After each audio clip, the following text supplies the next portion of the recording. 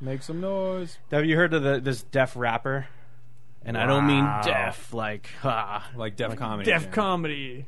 but like he's deaf, like he can't hear shit. Well, there's, there's definitely deaf And comedy. he's from Detroit, and his big claim to fame is that He's deaf. Well, Yeah. yeah, that, and uh, he was discovered by the people that supposedly discovered Eminem.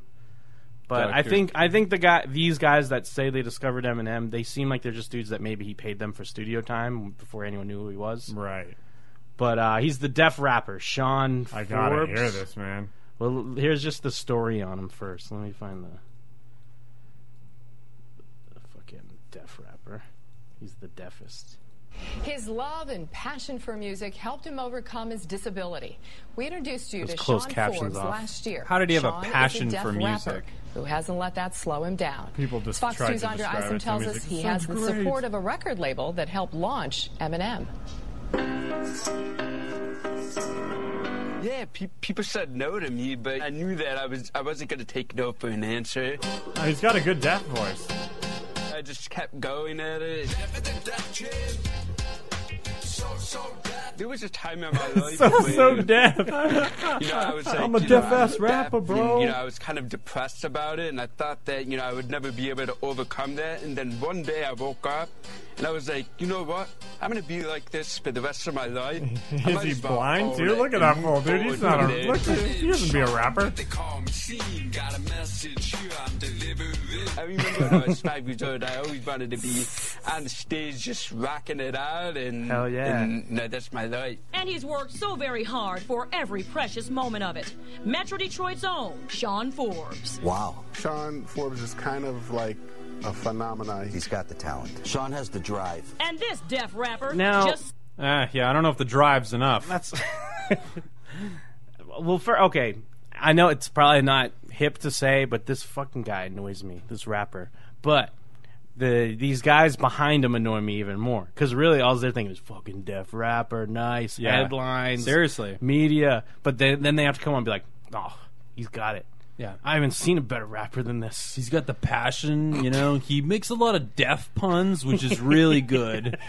He just say says things. He's like, "Did that rhyme, guys? Did that rhyme?" like, yeah, it rhymed. Hell yeah. That's pretty fat. Pretty fat rhymes. I don't know. I've always had a problem of, Spitting fire. of people trying to overcome obstacles. I don't know why, but it's It's something inside me that fucking bothers me. Like, Well, 'cause- why do you got to be a? De- Why can't you be a writer or something? Well- why can't you do something else? He's like, because I'm deaf, I have to do something impossible. It's and, and plus it's because you know what Mike Steele's got an NBA jersey on.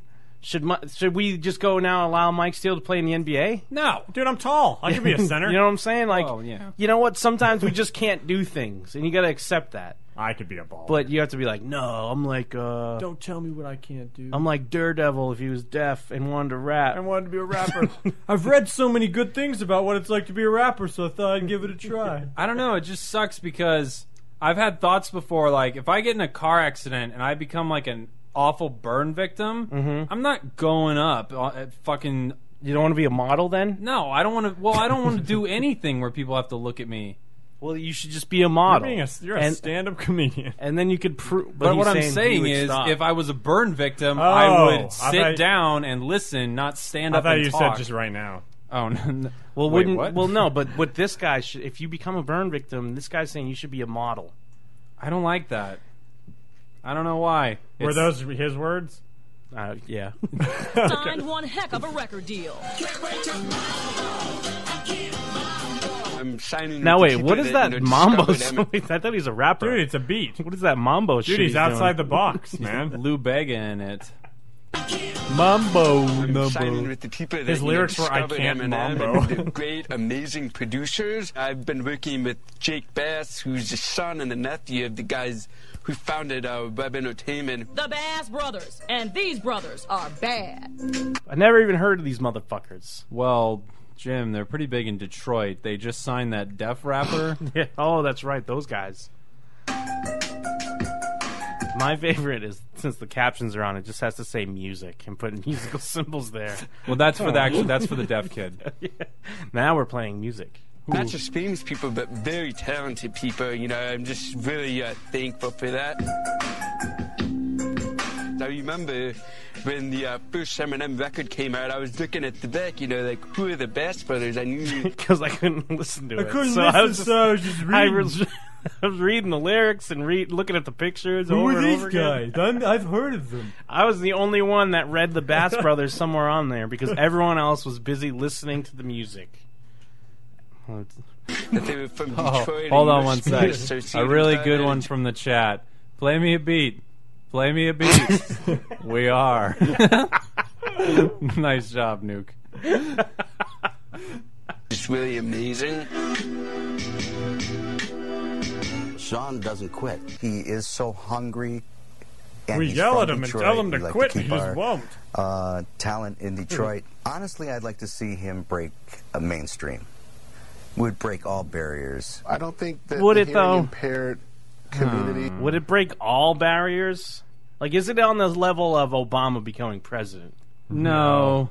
he's- well, I guess if he became the biggest name in rap, it's kind of on the level. But he Yeah. would never be. He would just have that one hit, like "I can't hear you." Yeah, and everyone like, whoa. To be completely fair, w- we've heard him rap so far, and he's not good. He's not. He doesn't. That's he the doesn't thing. have any talent. If he was good, yeah, if, maybe. If he had talent, he could break some fucking borders. But like, in all fairness, he's not any good. So no, has he's not going to had do anything. any type of artistic, creative voice as it relates to music. They should have never been left out.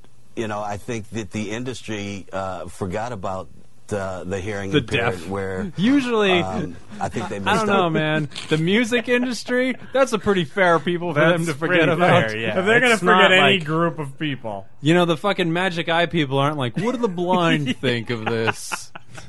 we need to get them behind our product. Yeah, he's like saying that they're just assholes, like purposely, like fuck them.